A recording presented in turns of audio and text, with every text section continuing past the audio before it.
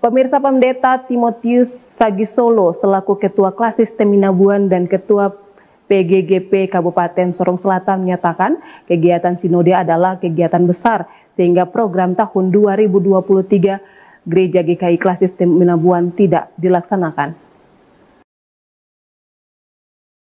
Pendeta Timotius Sagisolo selaku Ketua Klasis Teminabuan dan Ketua PGGP Kabupaten Sorong Selatan mengingatkan bahwa program tahun 2024 sudah masuk pada tahapan-tahapan yang disiapkan.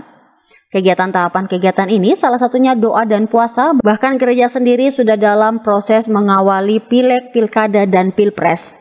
Dirinya berharap ada temu sahabat yang bisa dilaksanakan dan doa dari Badan Pekerja Klasis serta Persekutuan Gereja-Gereja di Sorong Selatan terhadap calon-calon yang siap bertarung pada Pileg 2024. Dengan harapan supaya pelaksanaan kegiatan ini bisa dilaksanakan lebih baik dan secara dewasa. Darmawan, CWM Channel.